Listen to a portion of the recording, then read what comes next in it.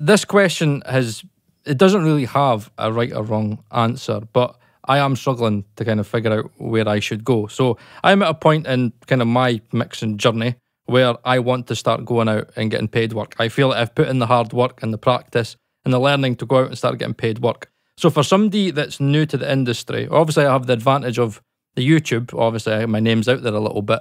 But in regards to mixing, what do you think would be a half decent rate to start charging? Again, this is a very ambiguous question, but I'm a little bit unsure how to charge as somebody new at the industry. Obviously, 20 years ago, 10 years ago, five years ago, it would have been different. But in modern day times, like, what do you think somebody like me should be charging on average? That's interesting. Um, I think whatever projects I do, I don't have a fixed price anymore. What I do is, um, so somebody emails me and says, Warren, would you mix my EP, album, record, single, whatever it is?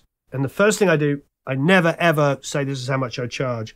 I say, can you send me the music so I can hear it? There's a great reason for doing that. Is number one, sometimes it's just spec and people are trying to figure out information. Maybe they're just trying to figure out how much I charge.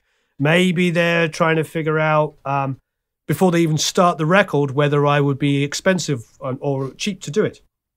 So I always ask that question first. So whenever somebody asks you about mixing a record, just say, cool, send me some music so I can hear. And always say, just MP3s is fine. You know, whatever your rough mixes, give it sent to me. So you're going to weed out tons of people first of all. Then the second thing is that you'll get you'll get it and you'll be able to figure out the number one most important thing. How long is it going to take you? If they send something and it is the worst recorded, fully distorted, everything's out of time, out of tune thing, but you want the work, you're going to have to think to yourself, wow, to make this sound good, it's going to take me a day just to edit and clean up this stuff. Yeah, and ultimately, and it's five ultimately songs. can It you get take- it to sound good? Because if at the end of the day you're still going to be Exactly. putting out a bad sounding product, do you want that to represent your brand? Exactly. So so then, you know, if it's immaculately recorded and the roughs sound amazing, and you think to yourself, I think I could pull this together in a couple of hours to make it sound pretty darn good, send them back something, and then get notes and tweak it from there, and maybe over the course of, you know, two or three recalls, I've got something amazing. In the back of your mind, maybe that's four, five, six hours work. How much do you want to get paid an hour? Do you want to get 25? Do you want to get 50? What's your hourly rate? What do you need to get paid? So if you're on like a, you know, uh, uh, you're an up and coming guy or girl, $25 an hour might be 25 pounds an hour might seem like a right kind of thing. And you just estimated in reality, it might take you five hours to get it because it's pretty well recorded. And then you might want to have to do two or three recalls, which might be like half an hour, hour each time.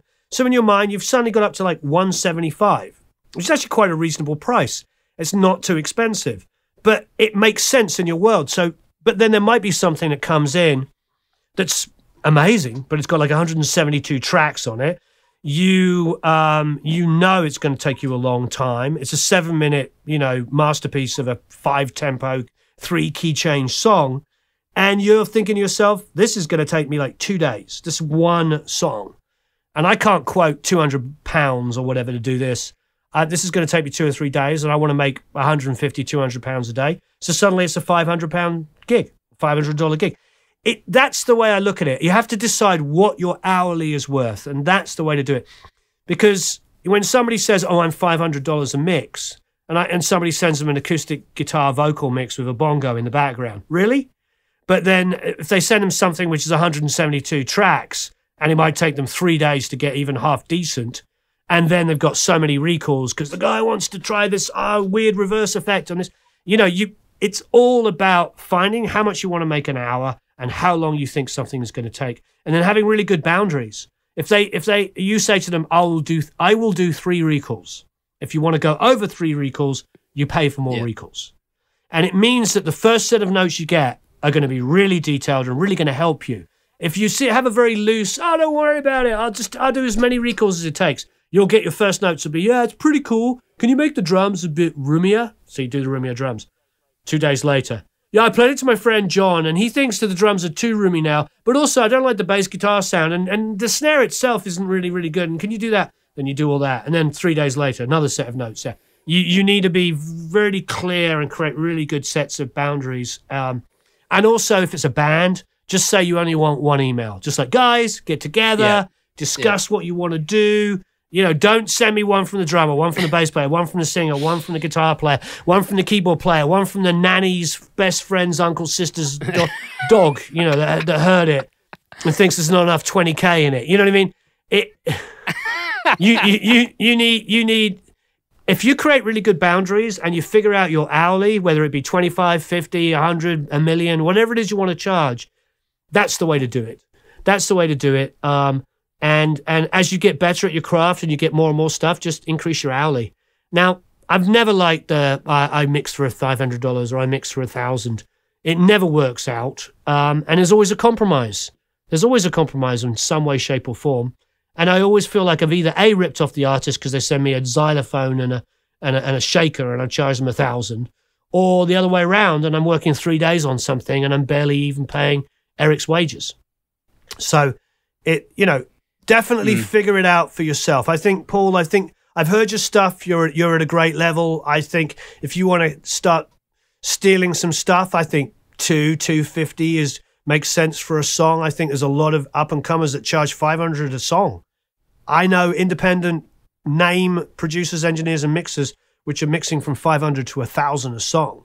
Now, don't get me wrong; they're talented enough and they have templates and they could probably do two or three songs in a day that will sound amazing um, because they're applying the same idea that we're talking about. They want to make a grand or two a day because they're a famous guy, girl, whatever. They want to make that money. So they look at it like, okay, I can knock this out two or three songs in a day and still only work six to eight hours. So they're applying the same the same kind of economic thinking that we're talking about here. It's just all about like saying to yourself, what do I want to get paid a day? What am I worth? I don't want to kill myself because work, working past eight hours mixing is not smart. Your ears will be useless. So you need to really kind of focus. Six to eight hours is really the maximum to be working hard on a mix. Um, and uh, so yeah, it all comes back to that. You know, what do you what what's your alley? What are you worth? How long is it going to take you?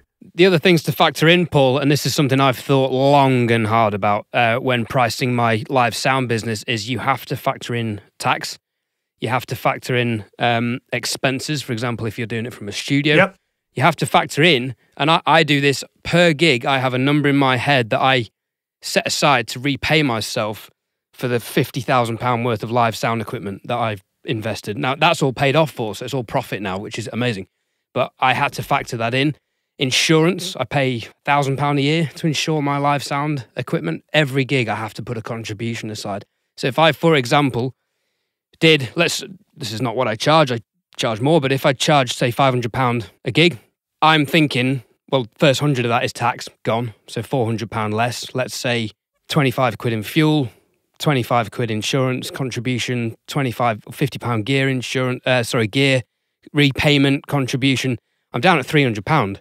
Now, if if I'm then on site for ten hours, okay, that's thirty pound an hour. That's just about acceptable for me personally. Now, if you want more than that, great. And if you want less than that, you can be more competitive. The other thing to bear in mind is when pricing is it is very difficult if you get a regular client to put your price up. So if you go in at a hundred pounds a track, hundred dollars a track, if you think right, well, a few months later, well, I've got lots of experience now, I've got work coming in.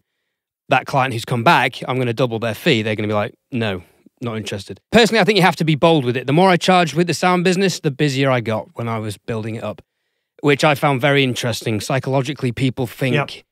value is is worth more, the product is better. Yeah. You know, there's so many examples of that. So it is a fine balance. One thing you could do is go in high, and if you don't get work, go a bit lower. And If you don't get work, go a bit lower and, and reduce it until you get work. But the sad fact is, you could easily end up at zero.